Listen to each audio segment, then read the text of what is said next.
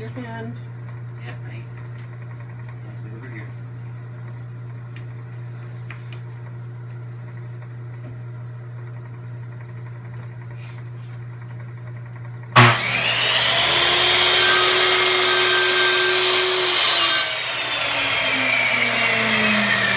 That's why people have workshops. Yep. This is exactly why people have workshops. That's also why when they're in the workshop, they often have ear protection.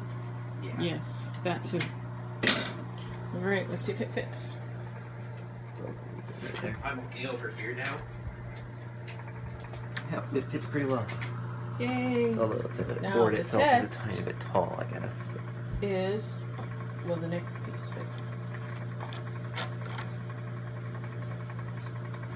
how are we cut?